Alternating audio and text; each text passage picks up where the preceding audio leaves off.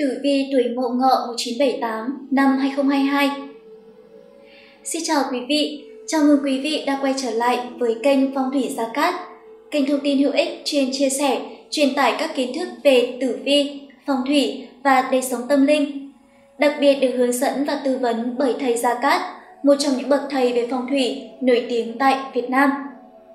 Quý vị thân mến, xem tử vi của tuổi Mậu Ngọ sinh năm 1978 về sự nghiệp, công danh, tài lộc, tình duyên, gia đạo, sức khỏe và sao chiếu mệnh năm 2022 sẽ giúp mệnh chủ tuổi Mậu Ngọ nắm bắt được những điều tốt và xấu để từ đó có những chuẩn bị tốt nhất, có được may mắn, giúp mọi việc được hanh thông trong năm nhâm dần.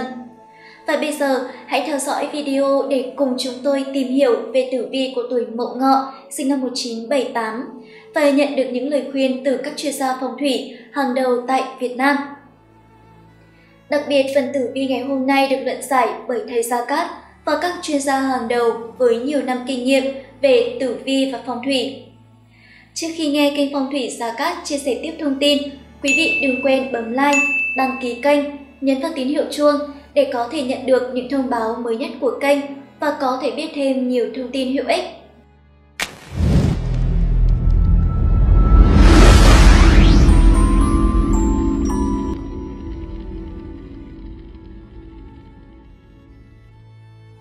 Quý vị thân mến, để có được một năm mới may mắn và bình an, vào đầu năm các chuyên gia phong thủy khuyên mọi người nên làm lễ nghênh thái tuế khi cúng giao thừa ngoài sân. Như quý vị đã biết, thái tuế năm 2022 là hạ ngạc đại tướng quân. Dưới chân của đại tướng quân có một con hổ. Để cho vận trình sự nghiệp, tài lộc, sức khỏe, gia đạo được hanh thông thuận lợi, thầy Gia Cát khuyên mệnh chủ tuổi mậu ngọ hãy luôn mang theo bên mình một kim bài thái tuế vật phẩm sẽ giúp mệnh chủ nghênh đón thái tuế, mang lại may mắn và bình an. Đặc biệt, kim bài thái tuế của kênh phong thủy Gia Cát được thầy Gia Cát trực tiếp khai quang, chi chú, xem ngày sử dụng cho mệnh chủ tuổi mậu ngọ sinh năm 1978 để có thể mang lại tác dụng phong thủy tốt nhất hiện nay. Mệnh chủ có thể hoàn toàn yên tâm khi sử dụng kim bài thái tuế của thầy. Quý vị thân mến, sau đây sẽ là phần tổng quan tử vi của cô chú tuổi Mậu Ngọ trong năm 2022. Tuổi Mậu Ngọ mệnh thiên thượng hỏa là người có tính cách hoạt bát, lạc quan, yêu đời. Bản chất lương thiện, họ luôn hết lòng giúp đỡ bạn bè, cũng không ngần ngại giúp đỡ cả những người xa lạ, cũng rất công bằng và chính trực. Nhờ thế mà họ có rất nhiều bạn bè. Họ vì bạn bè mà lan xả, khi gặp khó khăn, bạn bè cũng là người sẵn lòng vì họ mà hóa giải nguy nan. Người tuổi mậu ngọ có tinh thần trách nhiệm cao sẽ được cấp trên tín nhiệm và trọng dụng. Tuy tính cách có phần nóng vội, đôi lúc cũng mắc sai sót, nhưng sự chân thành và lạc quan của họ khiến cho mọi người hết lòng yêu quý và giúp đỡ. Địa chi của gia chủ tuổi mậu ngọ trong năm 2022 là ngọ gặp dần trong bộ tam hợp dần, ngọ, tuất. Ngọ thuộc hành hỏa, dần thuộc hành mộc, mộc sinh hỏa. Trong trường hợp này, dần hỗ trợ cho ngọ, bổ sung qua lại cho nhau. Còn về thiên can của cô chú tuổi mậu ngọ sinh năm 1978 là mậu dương thổ gặp nhâm dương thủy là thất sát. Trong năm nay, cô chú cần cẩn trọng chú ý nhiều hơn trong công việc, tránh gặp phải những thị phi không cần thiết. Khi gặp chuyện, nên bình tĩnh đưa ra các phương án tối ưu để giải quyết vấn đề, khiến mọi chuyện tốt đẹp, yên bình. Tháng may mắn năm 2022 của cô chú là tháng 6 âm lịch. Xem tử vi năm 2022 của cô chú tuổi Mậu Ngọ cho thấy tuổi hợp với mệnh chủ là nhâm dần 1962, giáp dần 1974, bính dần 1986, canh dần 1970, nhâm tuất 1982, giáp tuất 1994. Bên cạnh đó còn có các tuổi kỵ như canh tí 1960, nhâm tí 1972, giáp tí 1984. Cuối cùng là sao chiếu mệnh của cô chú tuổi Mậu Ngọ trong năm 2022. Các chú tuổi Mậu Ngọ năm nay gặp sao Mộc Đức chiếu mệnh. Sao Mộc Đức là một phúc tinh thuộc hành mộc, hướng tới sự an vui, hòa hợp.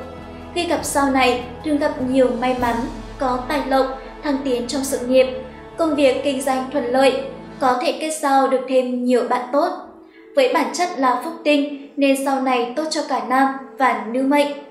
Tuy nhiên sau mộc đức hay còn gọi là mộc đức tinh quân, người mệnh kim hoặc mệnh mộc khi gặp mộc đức sẽ gặp trở ngại ở tiền vận, nhưng cuối cùng lại gặp được thuận lợi, an toàn. Còn với các cô tuổi mậu ngọ trong năm 2022 có sao thủy diệu chiếu mệnh. Sao thủy diệu hay còn gọi là sao thủy đức tinh quân, trông coi sao thủy, chủ về gặp đại nhân, đi xa có của. Sao thủy diệu là phúc lộc nhưng lại là sao xấu với nữ. Sao chiếu mệnh nữ thì năm đó xấu, sẽ gặp nạn liên quan đến sông nước. Khi gặp sao này thì kỵ tháng 4 và tháng 8 Ngoài ra, việc tìm lành tránh giữ là nhu cầu và nguyện vọng lớn lao của mỗi người. Trong nhu cầu ấy có cầu an và giải hạn là hết sức cần thiết, đặc biệt là nghi lễ ngành sau giải hạn hàng năm. Để đáp ứng nguyện vọng ngành sau giải hạn, Thế Gia Cát có tiến hành nghi lễ cho tất cả mọi người, mọi nhà, đặc biệt là mệnh chủ tuổi Mậu Ngọ sinh năm 1978. Để đăng ký tham gia nghi lễ ngay sau giải hạn, mệnh chủ hãy liên hệ trực tiếp với đội ngũ tư vấn của thầy Gia Cát. Trong thời gian này, thầy Gia Cát sẽ tư vấn trực tiếp hoàn toàn miễn phí tại văn phòng. Vậy nên mệnh chủ tuổi mậu ngọ hãy liên hệ ngay với đội ngũ trợ lý của thầy để đặt lịch gặp thầy và được tư vấn hoàn toàn miễn phí về tử vi, phong thủy, các vấn đề trong cuộc sống mà mệnh chủ đang gặp phải. Đặc biệt, cô chú tuổi mậu ngọ trong năm 2022 cần cẩn trọng chú ý tháng nhâm tý, tức tháng 11 âm lịch. Từ ngày 24 tháng 11 đến ngày 22 tháng 12 dương lịch, đây là những ngày đại kỵ với gia chủ tuổi mậu ngọ. Vào những ngày này, gia chủ cần hết sức đề phòng tiểu nhân, tìm cách quấy phá và những thị phi không đầu ập tới. Vào những ngày này, mệnh chủ tuyệt đối không nên khai trương cửa hàng, không nên tiến hành những việc đại sự trong nhà, nếu cứ tiến hành vào những ngày này có thể gây ảnh hưởng đến những kết quả kinh doanh ngày sau. Nhìn chung, cô chú tuổi mẫu ngọ không nên tiến hành những công việc trọng đại, quan trọng trong thời gian này. Quý vị thân mến, trong phần tiếp theo của chương trình, kênh Phong thủy Gia Cát xin chia sẻ rõ vận trình của cô chú tuổi mậu ngọ trong năm 2022 qua từng phương diện cụ thể của cuộc sống. Thứ nhất, về sự nghiệp, quan vận. Năm 2022 nhâm dần, cô chú tuổi mậu ngọ sinh năm 1978 sẽ mở ra sự may mắn trong sự nghiệp. Sức mạnh tích lũy trong giai đoạn năm ngoái sẽ được thể hiện trong năm nay và cô chú sẽ giành được sự công nhận từ ban lãnh đạo với màn trình diễn. Cô chú sẽ giành được sự công nhận từ ban lãnh đạo với màn trình diễn xuất sắc. Khen thưởng và tăng lương sẽ đạt được mà không cần quá nhiều nỗ lực. Tuy nhiên do được hơn mất, nên cô chú cần thận trọng với lời nói và hành động của mình, đừng tự mãn vì thành công tạm thời, hoặc có thể sếp sẽ coi cô chú là quá nóng để có thể đảm nhận các nhiệm vụ quan trọng. Bên cạnh đó, thời gian này do được tam hợp quý nhân giúp đỡ, sự nghiệp của cô chú sẽ phát triển không ngừng. Không gian phát triển sự nghiệp rộng lớn, tiền đồ sán lạn, quyền lực và thu nhập đều tăng. Thực tế thì công chức phát triển thuận lợi nhất.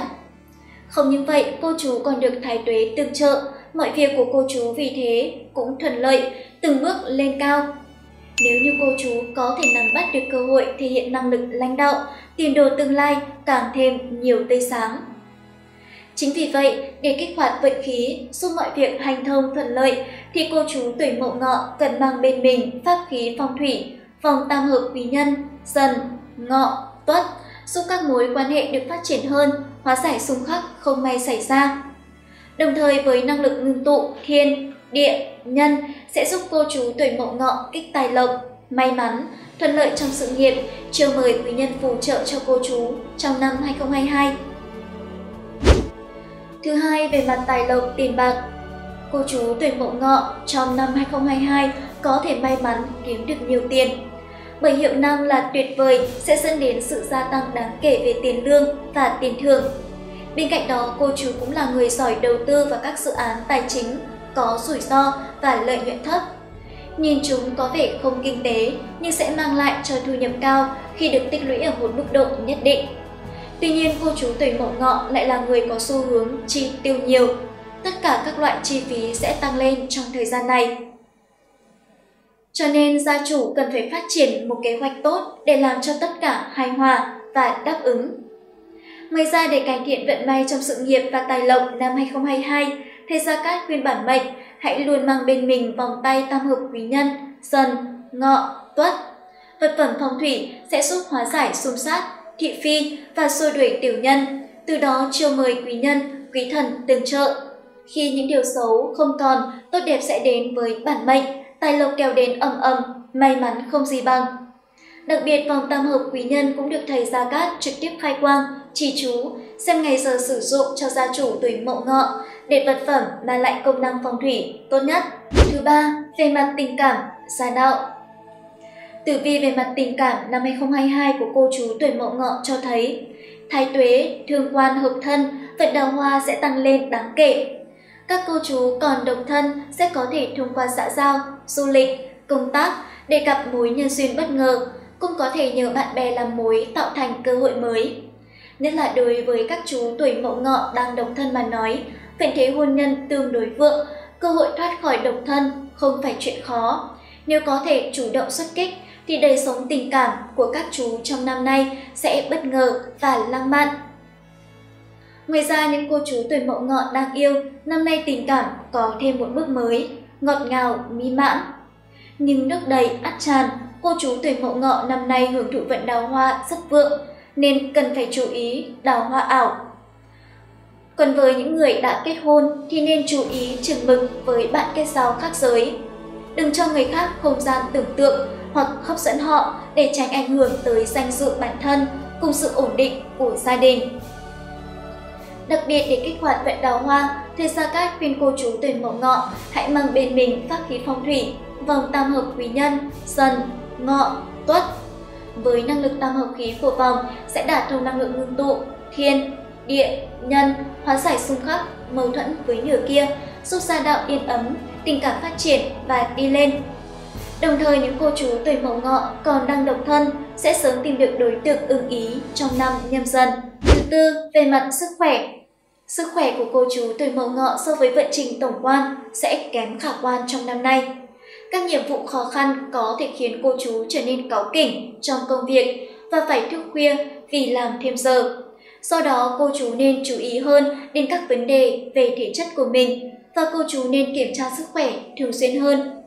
Miễn là cảm thấy bất kỳ sự khó chịu nào, hãy đến bác sĩ kịp thời, chấp nhận điều trị dù bệnh nhẹ.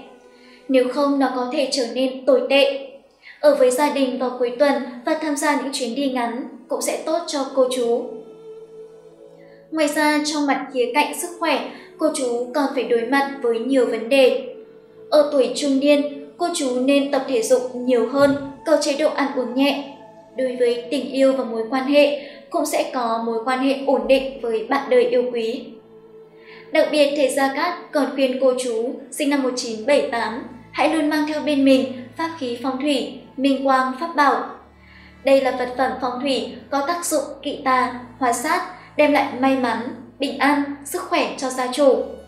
Đồng thời vật phẩm phát huy tác dụng tốt nhất, thầy Gia Cát sẽ khai quang, chỉ chú, xem ngày giờ sử dụng vật phẩm theo tuổi của cô chú tuổi Mậu Ngọ, sinh năm 1978. Quý vị thân mến, trong phần cuối của chương trình ngày hôm nay, mời mọi người hãy cùng kênh Phong thủy Gia Cát tìm hiểu vận hạn của cô chú tuổi Mậu Ngọ trong vận trình năm 2022 theo sao hạn để hiểu rõ hơn.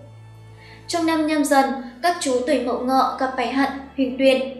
Khi nói về hạn này, người xưa thường có câu Huỳnh Tuyền bệnh nặng nguy vong, tăng kheo đau mắt, đề phòng tay chân. Các cô khi gặp hạn này sẽ gặp chứng đau đầu, chóng mặt, mặt mũi xa sầm, ảnh hưởng đến cuộc sống hàng ngày. Việc làm ăn kinh doanh buôn bán bằng đường thủy, đường sông nước cũng sẽ không gặp được thuận lợi, gặp nhiều khó khăn, chắc trở. Theo kênh phong thủy Gia Cát, thì tất cả các công việc liên quan đến đường thủy, đường sông nước, mệnh chủ đều không nên tham gia dù ít hay nhiều cũng để lại hậu quả khôn lường. Đồng thời trong phương diện cuộc sống, bản mệnh cũng không nên đứng ra làm chứng hay vay mượn cho ai sẽ dễ mang họa vào thân, tiền mất, tật mang. Còn với các cô tuổi mậu ngọ sẽ gặp phải hạn toàn tận. Hạn này chủ về tiền bạc, cẩn thận hao tài, ngộ chúng. Có một câu thơ diễn nghĩa về hạn này như sau. Toán tận vẫn đến thình lình, đàn ông rất kỵ bỏ mình nhiều khi. Như vậy hạn này thường xảy ra với những tai nạn đột ngột, bất khả kháng, cũng rất khó đề phòng và ứng phó. Đây là một hạn lớn, gây ra thiệt hại nặng nề về tiền bạc, tài sản và sức khỏe cũng bị ảnh hưởng nghiêm trọng. Mệnh chủ cần hết sức chú ý. Trên đây, kênh Phong thủy Gia Cát vừa chia sẻ với quý vị về vận trình của cô chú tuổi Mậu Ngọ, sinh năm 1978. Thầy Gia Cát khuyên cô chú năm nhâm dần cần mang theo bên mình pháp khí bát bảo tâm kinh, bổ trợ thân mệnh. Đây là pháp khí phong thủy của nhà Phật, mang lại sức khỏe, giúp chiêu vận quý nhân, kích tài, nạp phúc, tăng cường hòa hợp thiên, địa, nhân hợp nhất. Ngoài ra, vật phẩm phong thủy bát bảo tâm kinh đã được thầy Gia Cát trực tiếp khai quang, chỉ chú, xem ngày sử dụng để mang lại tác dụng phong thủy tốt nhất cho gia chủ, đặc biệt là cô chú tuổi mậu ngọ sinh năm 1978. Cảm ơn quý vị đã theo dõi đến hết chương trình ngày hôm nay.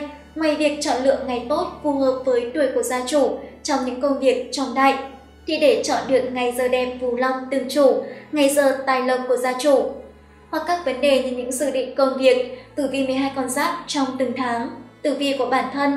Xin mời quý vị và các bạn hãy để lại thông tin dưới phần bình luận theo mẫu, họ tên, ngày tháng năm sinh, số điện thoại hoặc có thể liên hệ trực tiếp tới số hotline đang hiển thị trên màn hình để được tư vấn hoàn toàn miễn phí.